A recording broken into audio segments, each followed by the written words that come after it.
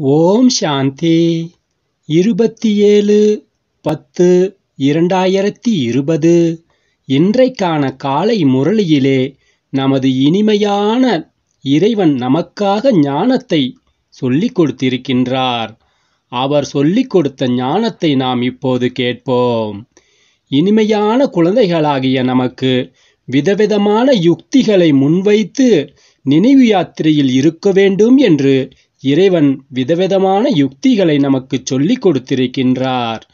இந்த பழைய உலகத்தை துக்கத்தை மட்டுமே கொடுக்கக்கூடிய இந்த பழைய உலகத்தை மறந்து நம்முடைய இனிமையான வீட்டு மற்றும் புதிய உலகமான சுகதாமத்தை நினைவு செய்ய வேண்டும் என்று நம்முடைய இறைவன் நமக்கு விதவிதமான யுக்திகளை நம்மை கையாளுமாறு சொல்லிக் கொடுத்திருக்கின்றார். எந்த ஒரு செயல் அல்லது முயற்சி இப்போதுதான் நடக்கிறது? அது முழு கல்பத்திலுமே நடப்பதே இல்லை. அந்த செயல் எந்த செயல் என்று இப்போது நாம் பார்ப்போம். நினைவு யாத்திரையில் இருந்து ஆத்மாவை தூய்மையாக்கும் முயற்சி முழு உலகத்தையும் தூய்மையற்ற நிலையிலிருந்து மீண்டும் தூய்மையாக்கும் செயல் முழு கல்பத்திலும் இந்த புருஷோத்தம சங்கமயுகத்தில் மட்டுமேதான் நடக்கின்றது. இந்த செயல் ஒவ்வொரு கல்பத்திலும் திரும்ப திரும்ப சங்கமயுகத்தின் அதாவது புருஷோத்தம சங்கமயுகத்தில் மட்டுமே நடக்கின்றது. குழந்தைகளாகிய நாம் இந்த ஆரம்பமும் முடிவும் மற்ற இந்த அனாதியான நாடகத்தில் நாம் அதிசயமான ரகசியத்தை இப்போது புரிந்து கொண்டிருக்கின்றோம். ஆன்மீக தந்தையான நம்முடைய இறைவனே வந்து ஆன்மீக குழந்தைகளாகிய நமக்காக இப்போது இந்த ஞானத்தை ராஜயோகத்தை நமக்கு புரிய வைத்து கொண்டிருக்கின்றார். ஆகையினால் ஆன்மீக குழந்தைகளாகிய நாம் ஆத்ம அபிமானிகளாக அல்லது ஆன்மீக நிலையில் நிச்சய புத்தி உடையவர்களாக ஆகி அமர்ந்து இந்த ஞானத்தை நாம் கேட்க வேண்டும். ஆத்மாதான் இந்த கர்மேந்திரியங்கள் மூலமாக இந்த காதுகளின் மூலமாக இதை இந்த ஞானத்தை கேட்கிறது என்பதை உறுதியாக நினைவு செய்து கொண்டே நாம் இருக்க வேண்டும் என்று பாபா நமக்கு புரிய வைத்திருக்கின்றார். சத்கதி மற்றும் துர்கதியினுடைய இந்த சக்கரம் ஒவ்வொருவருடைய புத்தியிலும் இருக்க வேண்டும். இதில்தான் ஞானம் மற்றும் பக்தி அனைத்தும் வந்துவிடுகிறது ஞானம் மற்றும் பக்தி சுகம் மற்றும் துக்கம் பகல் மற்றும் இரவினுடைய விளையாட்டு எப்படியெல்லாம் நடக்கிறது என்பது நடக்கும்போதும் சுற்றும்போதும் நம்முடைய புத்தியிலே சதா இருந்து கொண்டே இருக்க வேண்டும். நாம் இந்த நாடக மேடையிலே எண்பத்தி நான்கு பிறவிகளின் நடிப்பை நாம் நடித்து கொண்டிருக்கின்றோம். தந்தைக்கு நினைவிருக்கிறது என்னும்போது குழந்தைகளையும் நினைவில் இருக்க முயற்சி செய்ய வைக்கின்றார். இது நம்முடைய பாவ கர்மங்களும் வினாசமாகின்றது மற்றும் நாம் இந்த ராஜ்யத்தையும் அடைய போகின்றோம். இந்த பழைய உலகம் இப்போது அழியப் போகின்றது என்பதை நாம் தெரிந்து கொண்டோம். பழைய கட்டடம் இருக்கிறது பிறகு புதிய கட்டடம் கட்டுகிறார்கள் என்றால் இப்போது நாம் புதிய கட்டடத்திற்கு செல்வோம் என்று நிச்சய புத்தி உள்ளுக்குள்ளே இருக்கிறதல்லவா? அதே போலத்தான் பிறகு புதிய கட்டடம் கட்டுவதற்கு ஒன்று அல்லது இரண்டு வருடங்கள் பிடிக்கிறது. புதுதில்லியில் அரசாங்க கட்டடங்கள் போன்றவைகள் நிறைய பேர் உருவாக்கி கொண்டே இருக்கிறார்கள் என்றால் கண்டிப்பாக நாம் மாறி புதுதில்லிக்கு செல்வோம் என்று அரசு சொல்லும்போது சொல்லுமல்லவா? இந்த முழு எல்லையற்ற உலகமும் இப்போது பழையது என்பதை நாம் இப்போது குழந்தைகளாகிய நாம் தெரிந்து கொண்டிருக்கின்றோம். இப்போது நாம் புதிய உலகத்திற்கு தூய்மையான சக்தி தாமத்திற்கு நாம் செல்ல வேண்டும். பாபா அதற்காக நமக்கு யுக்திகளை கூறுகின்றார். அங்கு செல்ல நாம் தூய்மையாக வேண்டும். இப்படிப்பட்ட யுக்திகளின் மூலம்தான் நாம் புத்தியை நினைவு யாத்திரையிலே ஈடுபடுத்த வேண்டும் என்று தந்தை நமக்கு யுக்திகளை சொல்லிக் கொடுக்கின்றார். எந்த வீட்டிற்கு செல்வதற்காக மனிதர்கள் வழி தெரியாமல் அலைந்து கொண்டிருக்கிறார்களோ அந்த வீட்டிற்கு இப்போது நாம் செல்ல வேண்டும். ஆகையினால் இனிமையான வீட்டை நாம் நினைவு செய்ய வேண்டும். இந்த பழைய உலகமான இந்த துக்கத்தை மட்டுமே கொடுக்கக்கூடிய இந்த துக்கதாமம் இப்போது பழைய உலகம் அழிய வேண்டும் என்பதும் இனிமையிலும் இனிமையான குழந்தைகளாகிய நமக்கு இப்போது தந்தையின் மூலமாக இறைவனின் மூலமாக புரிய வைக்கப்பட்டிருக்கின்றது. நாம் இப்போது இங்கே இருந்து கொண்டே இருந்து கொண்டிருக்கும் கலாம். ஆனால் இங்கே நாம் இருந்தாலும் இந்த பழைய உலகம் நமக்கு பிடிக்கவில்லை. நாம் இப்போது புதிய உலகத்திற்கு செல்ல வேண்டும். காண்பதற்கு சித்திரங்கள் எதுவும் இல்லாமலும் போகலாம். ஆனாலும் கூட இப்போது பழைய உலகத்தினுடைய இறுதி இப்போது நாம் புதிய உலகத்திற்கு செல்வோம் என்பதை நாம் புரிந்து கொள்கின்றோம் பக்தி மார்க்கத்தின் சித்திரங்கள் எவ்வளவு அதிகமாக ஒப்பிடும்போது நம்முடையது மிகவும் குறைவாகும். இவை நம்முடைய ஞான மார்க்கத்தின் சித்திரங்களாகும் மற்றும் அவை அனைத்துமே பக்தி மார்க்கத்தின் சித்திரங்களாகும். பக்தி முழுவதும் சித்திரங்களை வைத்தே நடக்கின்றது. நம்முடைய சித்திரங்கள் உண்மையானவையாகும். ஆகையினால் தவறானது என்ன சரியானது என்ன என்பதை நாம் புரிய வைக்க முடியும். இறைவனே வந்து ஞான கடலே வந்து நமக்கு இந்த ஞானத்தை சொல்லிக் கொடுக்கின்றார். நமக்கு இந்த ஞானம் இருக்கின்றது. முழு கல்பத்திலும் நாம் எத்தனை பிறவிகள் எடுத்திருக்கின்றோம்? இந்த சக்கரத்தை நாம் எப்படி சுற்றி வருகின்றோம் என்பதை நாம் தெரிந்திருக்கின்றோம். நாம் எப்போதும் இறைவனுடைய நினைவில் மற்றும் இந்த ஞானத்திலே நாம் எப்போதும் அசை போட்டுக்கொண்டே இருக்க வேண்டும். இறைவன் நமக்காக படைப்பவரான நம்முடைய இறைவன் மற்றும் இந்த படைப்பினுடைய முழு ஞானத்தையும் நமக்கு கொடுத்திருக்கின்றார். எனவே இறைவனுடைய நினைவு நமக்கு இருக்கின்றது. நாம் இப்போது தந்தையுடைய ஞானத்தை கேட்க வேண்டும். தந்தையே நமக்கு டீச்சராகவும் சத்குருவாகவும் இருக்கிறேன் என்று தந்தை கூறுகின்றார். நாம் இதை மட்டும் புரிய புரிய வைக்க வேண்டும். நாம் என் நாம் இப்போது தூய்மையற்றவர்களை தூய்மையாக்குபவர்களாக தந்தை வந்து நமக்கு விடுவிப்பவராகவும் வழிகாட்டியாகவும் நமக்கு தந்தை இருக்கின்றார். அவரைத்தான் நாம் பாபா என்று அழைக்கின்றோம். நமக்கு வழிகாட்டி என்று இறைவன்தான் இருக்கின்றார். நம்மை வழிகாட்டி சாந்திதாமம் முக்திதாமம் அழைத்துச் செல்வதற்காக வழிகாட்டியாக வந்திருக்கின்றார். இறைவனே வந்து நமக்கு அழைத்துச் சென்று கொண்டிருக்கின்றார். குழந்தைகளை நமக்கு குழந்தைகளான நமக்கு படிப்பித்து கல்வியை கற்றுக் கொடுத்து ராஜயோகத்தை புரிய வைத்து நம்மையெல்லாம் தூய்மையான மனம் வீசு மலர்களாக ஆக்கி நம்மை சாந்தி தாமத்திற்கு அழைத்துச் சென்று கொண்டிருக்கின்றார். இறைவனைத்தான் இறைவனைத் தவிர வேறு யாருமே நம்மை தூய்மையான சொர்க்கத்திற்கு அழைத்துச் செல்ல முடியாது. யார் எவ்வளவுதான் தத்துவ ஞானியாகவும் பெரிய அறிஞர்களாக இருந்தாலும் அல்லது பிரம்ம ஞானியாக இருந்தாலும் நம்மை சொர்க்கத்திற்கு அழைத்துச் செல்லவே முடியாது. நாம் பிரம்மத்தோடு ஐக்கியமாகி விடுவோம் என்று சிலர் நினைக்கிறார்கள். சாந்திதாமம் நம்முடைய வீடு என்பது நம்முடைய புத்தியிலே இருக்கின்றது. அங்கே சென்ற பிறகு புதிய உலகத்தில் முதல் முதலிலே நாம் தான் வருவோம்.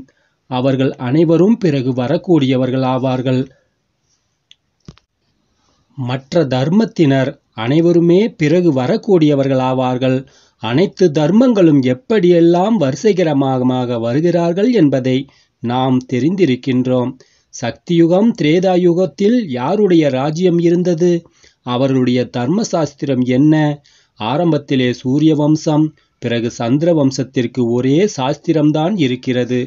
ஆனால் அந்த கீதை ஒன்றும் உண்மையானது அல்ல ஏனென்றால் நமக்கு கிடைக்கின்ற ஞானமானதுதான் இங்கேயே முடிந்து விடுகிறது. அங்கே எந்த சாஸ்திரமும் இல்லை. துவாபர யுகத்திலிருந்து எந்த தர்மங்கள் வருகின்றனவோ அவற்றின் சாஸ்திரங்கள் இருக்கின்றன. இருந்து கொண்டும் வருகின்றது. இப்போது மீண்டும் ஒரே ஒரு தர்மத்தின் ஸ்தாபனை இப்போது நடந்து கொண்டிருக்கின்றது. மற்ற அனைத்து தர்மங்களுமே அழிந்துவிடும். ஒரே ஒரு ராஜ்யம்தான் ஒரே ஒரு தர்மம்தான் ஒரே ஒரு மொழி ஒரே ஒரு வழிதான் இருக்க வேண்டும் என்று சொல்லிக் கொண்டிருக்கின்றோம். அது ஒரே ஒரு இறைவன் மூலமாகத்தான் ஸ்தாபனையாக முடியும்.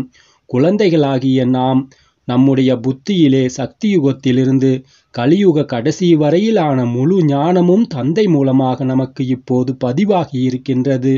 இப்போது தூய்மையாவதற்காக நாம் முயற்சி செய்ய வேண்டும் என்று இறைவன் கூறுகின்றார். தூய்மையற்றவர்களான நமக்கு தூய்மையானவர்களாக ஆவதற்கு நமக்கு அரைக்கல்ப காலம் ஆகியது உண்மையில் சொல்லப்போனால் முழு கல்பமுமே என்றே சொல்லலாம்.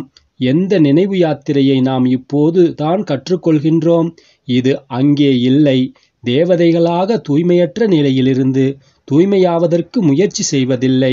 அவர்கள் முதலில் ராஜயோகம் கற்றுக்கொண்டு இங்கேயே தூய்மையாக ஆகிச் செல்கின்றார்கள். அதனை சுகதாமம் என்று சொல்லப்படுகின்றது. முழு கல்பத்திலுமே இப்போது மட்டும்தான் நாம் நினைவு யாத்திரையின் முயற்சியை செய்கின்றோம் என்பதை நாம் தெரிந்திருக்கின்றோம். பிறகு தூய்மையற்ற உலகத்தை தூய்மையாக்குவதற்காக இதே முயற்சி அல்லது நடிப்புதான் கல்பத்திற்கு பிறகு திரும்பவும் இதே போன்று நடக்கும். கண்டிப்பாக சக்கரத்தை சுற்றுவோம் அல்லவா? இதுதான் நாடகம். ஆத்மாக்கள் அனைத்துமே நடிகர்கள். அவற்றில் அழிவற்ற நடிப்பு நிறைந்திருக்கின்றது என்பது போன்ற விஷயங்கள் நம்முடைய புத்தியிலே இருக்கின்றது. எப்படி அந்த நாடகம் நடக்கிறதோ அதே போலாகும். ஆனால் இப்போது நடந்து கொண்டிருக்கும் அந்த ஃபிலிம் ரோல் தேய்ந்து பழையதாகி விடுகிறது. ஆனால் நாம் நடிக்கின்ற இந்த அழிவற்ற நடிப்பு தேயாததாகும். இது கூட அதிசயமாக இருக்கின்றது. எவ்வளவு பெ- எவ்வளவு சிறிய ஆத்மாவில் நம்முடைய முழு எண்பத்தி நான்கு பா நடிப்பின் பாகம் நடிப்பு நிறைந்துள்ளது. பாபா நமக்கு எவ்வளவு ஆழமான விஷயங்களை புரிய வைத்திருக்கின்றார். இப்போது யாராவது கேட்கிறார்கள் என்றால் இவர்கள் மிகவும் அதிசயமான விஷயங்களை புரிய வைக்கிறார்கள் என்று சொல்கிறார்கள். எனவே நாம் ஆத்மா என்றால் என்பதை புரிந்திருக்கின்றோம். சரீரத்தை அனைவருமே புரிந்து கொள்கிறார்கள் டாக்டர்கள் இதயத்தை கூட வெளியில் எடுத்து மாற்றி விடுகிறார்கள். ஆனால் ஆத்மாவை பற்றி யாருக்குமே தெரிவதில்லை. ஆத்மாதான் தூய்மையற்ற நிலையிலிருந்து எப்படியெல்லாம் தூய்மையாகிறது என்பதை யாருமே தெரிந்திருக்கவில்லை. தூய்மையற்ற ஆத்மா தூய்மையான ஆத்மா மகான் ஆத்மா என்று சொல்கிறார்கள் அல்லவா? ஹே தூய்மையற்றவர்களை தூய்மையாக்குபவரே இறைவா வாருங்கள் வந்து எங்களை தூய்மையாக்குங்கள் என்று அனைவருமே அழைக்கிறார்கள். ஆனால் ஆத்மா எப்படி தூய்மையாகும்? அதற்கு அழிவற்ற டாக்டர் வேண்டும். யார் மறுபிறவி அற்றவராக இருக்கிறாரோ அவரைத்தான் ஆத்மா அழைக்கின்றது. அவரைத்தான் இறைவன் என்று சொல்கின்றோம். ஆத்மாவை தூய்மையாக்குவதற்காக மருந்து இறைவனிடம் மட்டும்தான் இருக்கின்றது. பகவான் தான் அந்த இறைவன்தான் நமக்கு இந்த ஞானத்தை ராஜயோகத்தை கற்றுக் கொடுக்கின்றார். கண்டிப்பாக நம்மை பகவான் பகவதியாக ஆக்குகின்றார் என்றால் குழந்தைகளாகிய நமக்கு குசியிலே மெய் சிலிர்த்து விட வேண்டும். பக்தி மார்க்கத்தில் இந்த லக்ஷ்மி நாராயணனை இந்த ஸ்ரீகிருஷ்ணரை பகவான் பகவதி என்று தான் சொல்கின்றார்கள். எனவே எப்படி ராஜா ராணியோ அப்படிதான் அங்கே பிரஜைகளும் இருப்பார்கள் அல்லவா? தனக்கு சமமாக தூய்மையாக ஆக்குகின்றார். இறைவனுக்கு சமமான ஞானத்தை நமக்கு கற்றுக் கொடுக்குகின்றார். ஞான கடலாகவும் நம்மை இறைவன் ஆக்கிக் கொண்டிருக்கின்றார். பிறகு தன்னை விடவும் அதிகமாக உலகத்திற்கு எஜமானர்களாக மாற்றுகின்றார். தூய்மையான மற்றும் தூய்மையற்ற முழுமையான நடிப்பை நாம் இப்போது நடிக்க வேண்டியிருக்கின்றது. மீண்டும் இந்த பூமியில் ஆதி சனாதன தேவி தேவதா தர்மத்தை ஸ்தாபனை செய்ய வந்திருக்கின்றார் இறைவன் என்று நாம் இப்போது தெரிந்து கொண்டோம். அதைத்தான் அந்த தர்மத்தை தான் மறைந்து விட்டது என்று சொல்கின்றார்கள். இதனை ஆலமரத்தோடு ஒப்பிடப்பட்டுள்ளது. நிறைய கிளைகள் வருகின்றன. தண்டு இல்லை. இங்கே கூட எத்தனை தர்மங்களின் கிளைகள் வந்துள்ளன. அஸ்திவாரமான ஆதி தனாத் ஆதி சனாதன தேவி தேவதா தர்மம் இல்லை. மறைந்திருக்கின்றது. அந்த தர்மம் இருக்கிறது ஆனால் தர்மத்தின் பெயரை மாற்றிவிட்டார்கள் என்று பாபா கூறுகின்றார். தூய்மையாக இல்லாத காரணத்தினால் தங்கைகளை தேவதை என்று சொல்ல முடியாது. இல்லாமல் இருந்தால்தான் பாபா வந்து படைப்பை படைக்க முடியும். நாம் தூய்மையான தேவதைகளாக முன்பு இருந்தோம். இப்போது நாம் தான் தூய்மையற்றவர்களாக ஆகியிருக்கின்றோம் என்றது இப்போது தந்தை மூலமாக நாம் புரிந்து கொண்டோம். ஒவ்வொரு பொருளும் இப்படியாகிறது குழந்தைகளாகிய நாம் இதை மறக்கக்கூடாது. முதலில் முக்கிய குறிக்கோள் ஒரே ஒரு இறைவனை அவர் தந்தை என்று சொல்கின்றோம். அவரை மட்டும்தான் நாம் நினைவு செய்ய வேண்டும். அவரை நினைவு செய்வதன் மூலமாகத்தான் நாம் தூய்மையாக முடியும். நம்மை தூய்மையாக்குங்கள் என்றுதான் அனைவருமே சொல்கின்றார்கள். எங்களை ராஜாராணி ஆக்குங்கள் என்று சொல்ல மாட்டார்கள். எனவே குழந்தைகளாகிய நமக்கு மிகுந்த பெருமிதம் இருக்க வேண்டும். நாம் பெருமைப்பட வேண்டும். நாம் பகவானுடைய குழந்தைகளாக கண்டிப்பாக நமக்கு ஆஸ்தி கிடைக்க வேண்டும் என்பதை நாம் தெரிந்திருக்கின்றோம். கல்ப கல்பமாக இந்த நடிப்பை நாம் நடித்து கொண்டிருக்கின்றோம். மரம் வளர்ந்து கொண்டேதான் செல்லும். இது சத்கதிக்கான பொருள் என்று பாபா சித்திரங்களை வைத்து கூட புரிய வைத்திருக்கின்றார். நாம் வாயின் மூலமாக தந்தை நமக்கு புரிய வைக்கின்றார். படங்களை வைத்தும் புரிய வைக்கின்றார். நம்முடைய இந்த சித்திரங்கள் சிருஷ்டியின் முதல் இடை கடையின் ரகசியம் வந்துவிடுகின்றது. யார் சேவை செய்யக்கூடிய குழந்தைகளோ அவர்கள் தங்களுக்கு சமமாக ஆக்கிக்கொண்டே செல்கின்றார்கள். படித்து பிறகு அடுத்தவருக்கும் படிப்பிக்க முயற்சி செய்ய வேண்டும். எந்த அளவிற்கு அதிகம் படிக்கிறார்களோ அந்த அளவிற்கு உயர்ந்த பதவியை நாம் அடைய முடியும். நான் முயற்சி என்னவோ செய்ய வைக்கின்றேன் என்று தந்தை கூறுகின்றார். ஆனால் நமக்கு அதிர்ஷ்டம் இருக்க வேண்டுமல்லவா? என்று பாபா கூறுகின்றார்.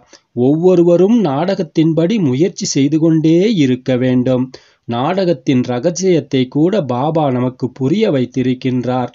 பாபாதான் இறைவன்தான் நமக்கு தந்தையாகவும் இருக்கின்றார். அவரே இந்த ஞானத்தை கற்றுக் கொடுக்கும் ஆசிரியராகவும் இருக்கின்றார்.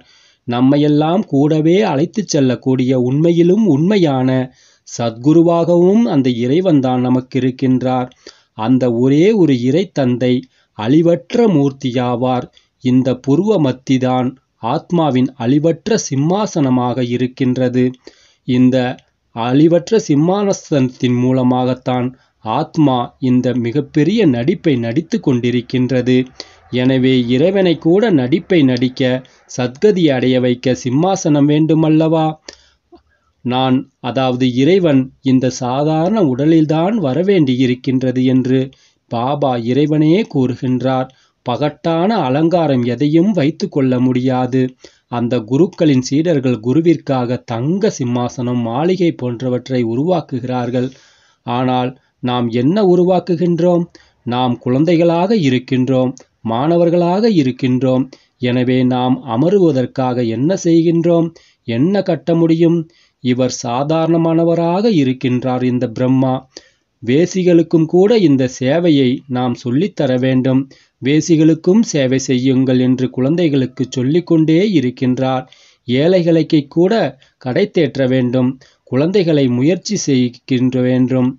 பனாரசிற்கும் சென்றார்கள். நாம் அவர்களை விழிக்கச் செய்தீர்கள் என்றால் பிரம்மகுமார குமாரிகள் அதிசயம் செய்பவர்கள் என்று சொல்வார்கள்.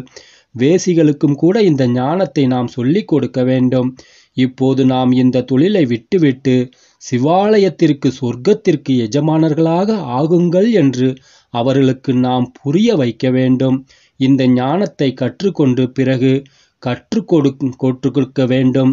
வேசிகள் கூட பிறகு மற்றவர்களுக்கு இந்த ஞானத்தை கற்றுக் கொடுக்க முடியும். கற்றுக்கொண்டு புத்திசாலிகள் ஆகிவிட்டார்கள் என்றால் பிறகு நம்முடைய அதிகாரிகளுக்கு கூட அவர்கள் புரிய வைப்பார்கள். மண்டபத்திலே சித்திரங்கள் போன்றவற்றை வைத்து அமர்ந்து கொண்டு நாம் புரிய வைத்தோம் என்றால் ஆகா வேசிகளை சிவாலய வாசிகளாக ஆக்குவதற்காக இந்த பிரம்மகுமார குமாரிகள் பொறுப்பாளியாகி இருக்கிறார்கள் என்று அனைவருமே சொல்வார்கள். குழந்தைகளுக்கு சேவைகளுக்கான சிந்த சிந்தனை இருக்க வேண்டும். நாம் மீது மற்றும் மிகுந்த பொறுப்பு இருக்கின்றது. அகலிகைகள் கூனிகள் காட்டுவாசிகள் வேசிகள் போன்ற இவர்கள் அனைவரையும் கடை தேற்ற வேண்டுமல்லவா? சாதுக்களையும் கதை கடை தேற்ற வேண்டும் என்று பாடப்பட்டிருக்கின்றது. சாதுக்களை கடை தேற்றுவது கடைசியிலே நடக்கும் என்று நாம் புரிந்து கொண்டிருக்கின்றோம். இப்போது அவர்கள் நம்முடையவர்களாக ஆகிவிட்டால் முழு பக்தி மார்க்கமுமே முடிந்துவிடும். புரட்சி ஏற்பட்டுவிடும். சந்நியாசிகளே நாங்கள் தோற்றுவிட்டோம் என்று தங்களுடைய ஆசிரமத்தை விட்டு விடுவார்கள் இது கடைசியிலே நடக்கும். இப்படி இப்படியெல்லாம் செய்யுங்கள் என்று பாபா நமக்கு டைரக்ஷன் கொடுத்து கொண்டிருக்கின்றார். இறைவன் எங்கேயும் வெளியில் செல்ல முடியாது. குழந்தைகளிடத்தில் சென்று கற்றுக்கொள்ளுங்கள் என்று சொல்வார். புரிய வைப்பதற்கான யுக்திகளை குழந்தைகளாகிய நமக்கு சொல்லிக் கொடுத்து கொண்டே இறைவன் இருக்கின்றார். மனிதர்களுடைய வாயிலிருந்து ஆகா ஆகா என்று வரும் அளவிற்கு காரியங்களை நாம் செய்து காட்ட வேண்டும். சக்திகளிடத்தில் அதாவது பெண்களிடத்தில் ஞான அம்பை பகவான் நிறைந்தது என்று பாடப்பட்டிருக்கின்றது. இது ஞான அம்பமாகும்.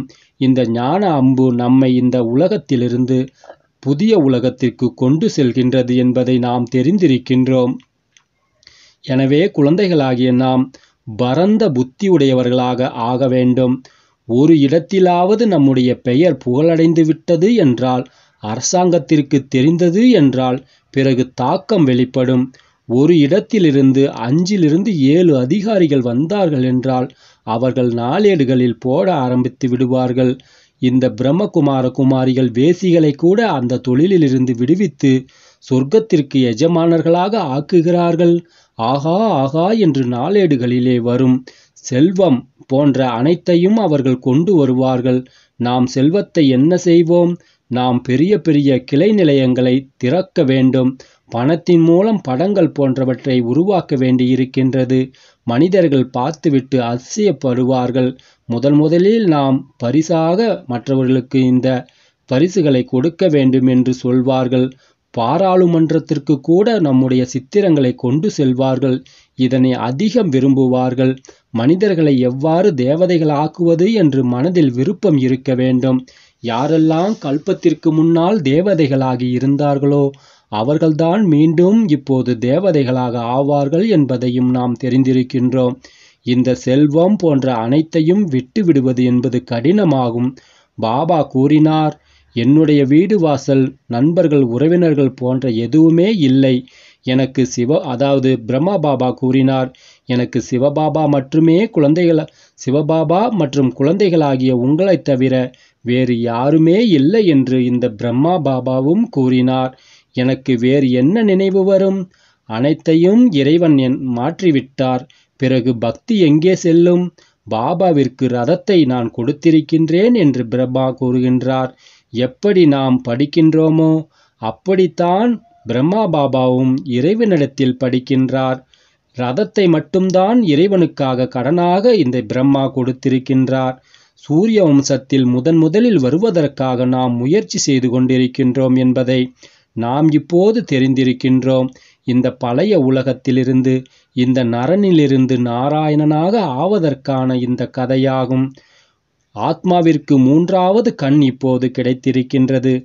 ஆத்மாக்களாகிய நாம் படித்துவிட்டு இந்த ஞானத்தை கேட்டு தேவதைகளாக ஆகிக் கொண்டிருக்கின்றோம். மீண்டும் ராஜாக்களுக்கெல்லாம் ராஜாவாக ஆகப் போகின்றோம். தந்தைதான் நம்மை இரட்டை கிரீடதாரிகளாக மாற்றுகின்றார் என்று சிவபாபாவே நமக்கு கூறுகின்றார். இந்த கல்பத்தின் நாடகத்தின்படி முன்போல நம்முடைய புத்தி இப்போது எவ்வளவு நன்றாக திறந்துவிட்டது. இப்போது நினைவு யாத்திரையிலே நாம் இருக்க வேண்டும். இந்த முழு சிருஷ்டி சக்கரத்தையும் நாம் நினைவு செய்ய வேண்டும். இந்த பழைய உலகத்தை நம்முடைய புத்தியின் மூலமாக மறக்க வேண்டும். மிகவும் நல்லது. இனிமையிலும் இனிமையான வெகுகாலமாய் காணாமல் போய் கண்டெடுக்கப்பட்ட செல்லமான குழந்தைகளாகிய நமக்கு இறைவனான தாய் தந்தை பாப்தாதாவின் அன்பு நினைவுகளையும் காலை வணக்கங்களையும் ஆன்மீக குழந்தைகளாகிய நமக்கு தந்தை நமஸ்காரங்களை கூறிக்கொள்கிறார் நாமும் நம்முடைய இனிமையான தந்தைக்கு அன்பு நினைவுகளையும் காலை வணக்கங்களையும் நமஸ்காரங்களையும் கூறிக்கொள்வோம். தந்தை கூறிய தாரணைகளை இப்போது பார்ப்போம். முதலாவதாக இப்போது நமக்காகவே புதிய உலகம் ஸ்தாபனை ஆகிக் கொண்டிருக்கின்றது. இந்த அழுக்கு நிறைந்த துக்கமான பழைய உலகத்தை நாம் இப்போது மறந்துவிட வேண்டும் என்பது புத்தியிலே இருக்க வேண்டும். இந்த உலகத்தின் மீது முற்றிலுமாக நமக்கு விருப்பம் வரவே கூடாது. இது பழைய உலகமாகும். இரண்டாவதாக எப்படி பிரம்மா பாபா தன்னுடைய அனைத்தையும் மாற்றிவிட்டதால் புத்தி எங்கேயும் செல்லவில்லையோ அதே போலத்தான் தந்தையை நாம் பின்பற்ற வேண்டும் நாம் மனிதர்களை தேவதைகளாக்கும் சேவை செய்ய வேண்டும். வேசியாலயத்தை சிவாலயமாக ஆக்க வேண்டும் என்ற விருப்பமே நம்முடைய மனதில் இருக்க வேண்டும். வரதானம். அதாவது தந்தை கூறும் வரத்தையும் கேட்போம். முரளியின் இசை மூலமாக மாயையை சமர்ப்பணம் செய்ய வைக்கக்கூடிய மாஸ்டர் முரளிதரனாக ஆக வேண்டும் என்று தந்தை நமக்கு வரத்தை அருளுகின்றார். முரளிகளோ நிறைய நாம் கேட்டிருக்கின்றோம். இப்போது எப்பேற்பட்ட முரளிதரனமாக வேண்டும்? மாயை முரளிக்கு முன்னால் சமர்ப்பணமாகிவிட வேண்டும். முரளியின் ரகசியங்களுடன் கூடிய இசையை எப்போது நாம் வாசித்து கொண்டே இருந்தோம் என்றால் மாயை எப்பொழுதிற்குமாக சமர்ப்பணமாகிவிடும்? மாயையின் முக்கிய சொரூபம் காரணத்தின் ரூபத்தில் வருகிறது. முரளி மூலமாக காரணத்திற்கான நிவாரணம் கிடைத்துவிட்டது என்றால் மாயை எப்பொழுதிற்குமாகவே முடிந்து போய்விடும். காரணம் முடிந்துவிட்டது என்றால் மாயையும் முடிந்துவிட்டது. ஸ்லோகன் அனுபவத்தின் சொரூபம் ஆனீர்கள் என்றால் முகத்தின் மூலமாக மகிழ்ச்சி என்ற அதிர்ஷ்டத்தின் ஜொலிப்பு நமக்கு தென்படும். ஓம் சாந்தி ஓம் சாந்தி.